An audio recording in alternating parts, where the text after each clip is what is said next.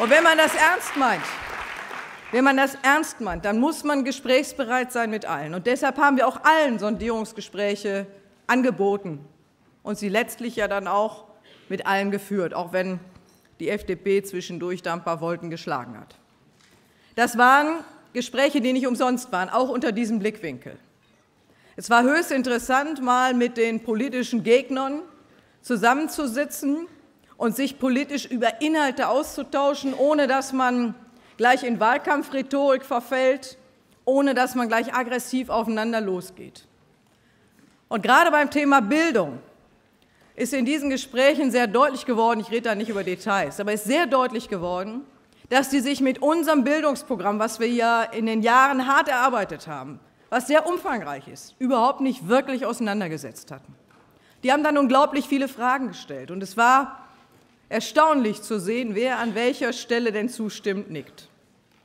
Ich hoffe, dass aus den Gesprächen heraus sich neue und dauerhafte Gesprächskontakte zu allen entwickeln. Denn das gehört auch zur Demokratie, dass man sich gegenseitig zuhört und sich auch wirklich mit den Inhalten der anderen Parteien auseinandersetzt. Die Gespräche waren deshalb nicht umsonst. Sie haben lange gedauert, sie haben viel Kraft gefordert, aber nicht nur Kraft.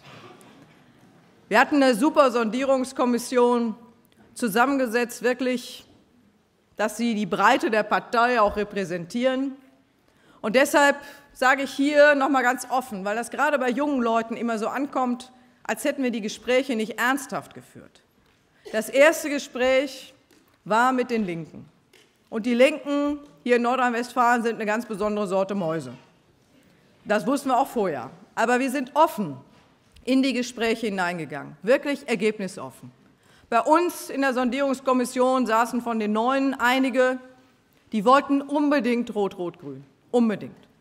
Und genauso gab es die auch bei den Grünen, denn klar war, das ist die einfachste, in Anführungsstrichen, Machtoption für die Grünen.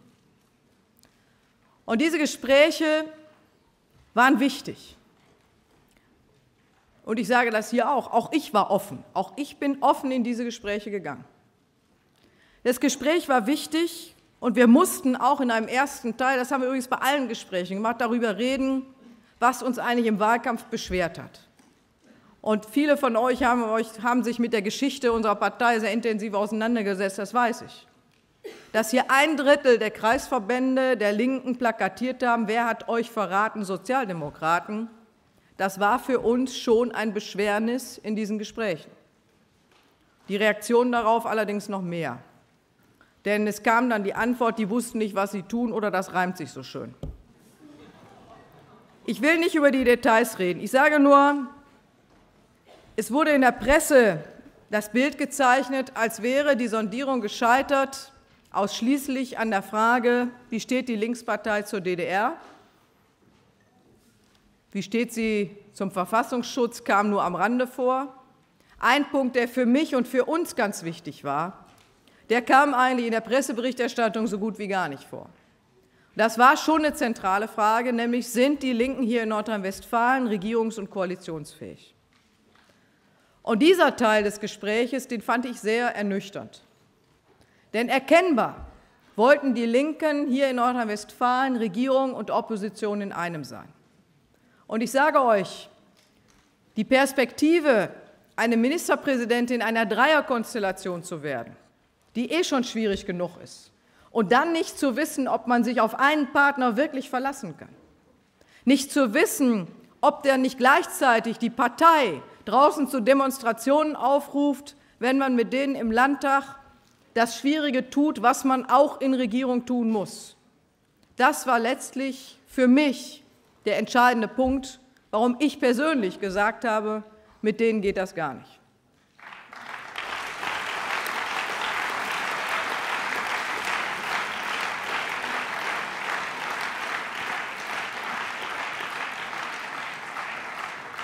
Und dieser Eindruck, den ich hatte, den hatten alle, alle Teilnehmer der Sondierungskommission der SPD und alle Teilnehmer der Sondierungskommission der Grünen. Und deshalb haben wir nach diesem Punkt, als es um Regierungs- und Koalitionsfähigkeit und auch um Themen ging, wie kriegen wir eigentlich das mit dem Haushalt hin, wo auch zum Teil erstaunliche Unkenntnis sich offenbart hat. Ich will das nicht detailliert darlegen. Deshalb haben wir an diesem Punkt gesagt, wir brauchen jetzt erstmal nicht über Inhalte reden, sondern lass uns mal unterbrechen und erstmal gucken. Und dann sind wir alle in unsere Räume gegangen. Und in meiner Kommission war keiner der Auffassung, keiner, auch nicht die, die unbedingt Rot-Rot-Grün wollten. Die haben alle gesagt, es gibt nicht den Hauch einer Chance für solch eine Koalition. Und das Gleiche war bei den Grünen der Fall. Und dann bitte ich einfach um Verständnis, dann kann man das auch nicht machen. Wir sind mit denen menschlich fair umgegangen. Sie haben das, glaube ich, auch am Ende des Tages selbst verstanden. Das war mein Eindruck.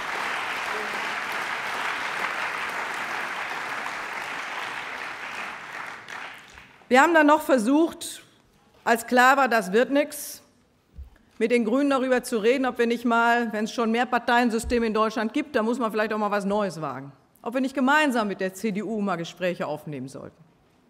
Das wollten die Grünen nicht, denn sie hatten Befürchtungen, dann in den Ruf zu kommen, ihnen ging es nur um Posten und Dienstwagen.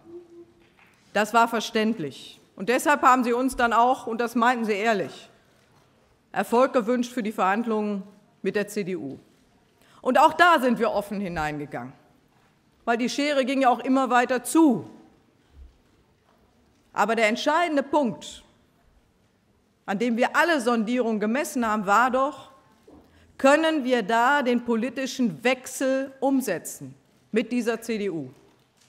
Und diese CDU hat uns keine adäquaten Angebote gemacht. Wir wären auch an Punkten beweglich gewesen. Auch das haben wir offen gezeigt. Natürlich kann man nicht den anderen Partner nötigen, alles aufzugeben und man selbst bewegt sich nicht. Das ist völlig klar.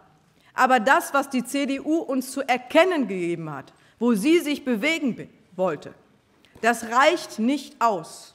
Und ich sage mit Fug und Recht, wir sind für unsere inhaltlichen Positionen auf die Straße gegangen. Wir haben dafür gekämpft. Und wir sind nicht bereit gewesen, sie zu opfern, um in den sicheren Hafen einer großen Koalition zu gehen. Das wollten wir nicht.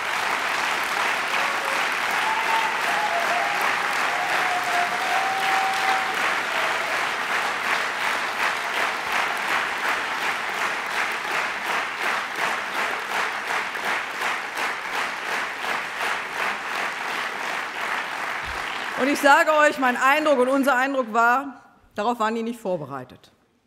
Eigentlich haben die spekuliert darauf, dass wir schon springen werden.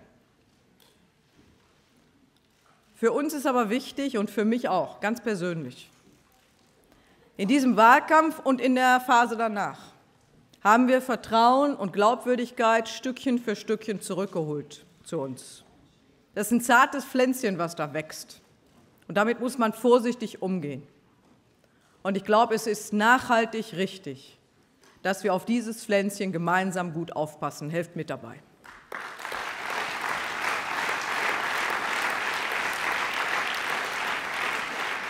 Ihr wisst das, in die Sondierung der CDU kam, das kam plötzlich die FDP wieder ins Spiel. Die hatten sich inzwischen wieder besonnen, wollten dann doch noch reden. Die CDU wollte dann die Sondierung unterbrechen. Wir sollten dann erstmal die Ampel machen und zurückkommen. Das haben wir natürlich nicht gemacht, weil sonst wären wir da als Ping-Pong-Ball am Ende geendet denn das hätten die anderen ja mit Fug und Recht an irgendeiner Stelle auch von uns verlangt, sodass wir die CDU zu Ende sondiert haben, sie mehrfach darauf aufmerksam gemacht haben, wenn überhaupt eine Chance bestehen soll, an unserer Parteibasis für eine große Koalition zu werben, dann müssen wir deutlich machen, an welchen Punkten wir diesen Politikwechsel in den drei Positionen, die wir genannt haben, auch deutlich machen können. Und da kam wenig, sehr, sehr wenig. Daraufhin sind wir dann nach Beendigung der Sondierung in die Ampelgespräche gegangen. Da sind schon ein paar überraschende Dinge passiert. Mein Eindruck war, dass zumindest Teile der FDP verstanden haben, dass sie so bei ihren inhaltlichen Positionen grundsätzlich nicht mehr bleiben können. Ob das in die richtige Richtung geht, wie wir uns das vorstellen, ob da die Sozialliberalen noch in großer Zahl existent sind, kann ich nicht kann ich nicht beurteilen. Ich kann nur sagen, es gibt offenkundig Bewegungen, ja jetzt auch auf der Bundesebene. Es waren interessante Gespräche. Und es war auch interessant, wie beweglich die FDP war im Vergleich zur CDU.